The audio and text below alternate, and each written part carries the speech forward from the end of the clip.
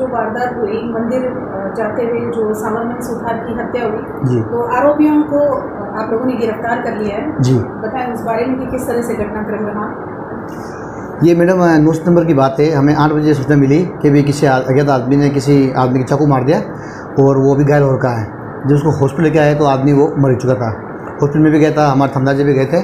तभी हमने ये घोषित कर दिया कि हमारी जो टीम बनी हुई है हमने टीम दवाने की। आज सूचना इकट्ठी की इंटेलिजेंस को साइबर सेल को उनसे हमने बात की।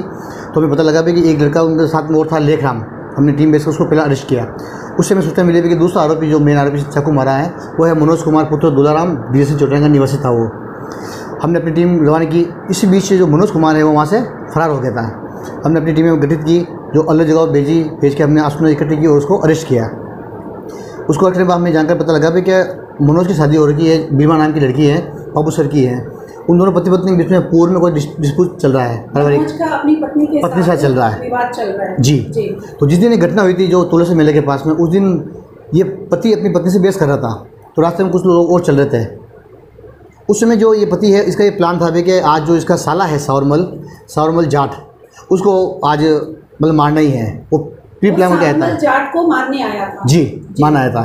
तो पत्नी से उस समय जो गाँव के लड़के थे वो जो जा रहे थे मेले में दस नाट थी उन्होंने उसको रोका। इसी बीच लोग लोग दोनों में लड़ी हुई और मनोज जाट ने जो सावन सावरमल सुतार है जो मृतक है उसको चाकू मार दिया और मौके से वो और उसका सहयोगी लेखराम बाइक लेके भाग गए वहाँ से। फरार हो गए मौके से? जी। जी सर। और फरार होने के बाद सीधा भाग गए या जैसे मेला घूमने गए वापस? इसे सोचा मिली थी कि फरार होने के बाद में वो वापस बाइक लेके जा रहे थे और मंदिर से मंदिर से वापस उस जगह से गुजरते हैं। लेकिन वो सोचा भी वो अपने घर चले जाए।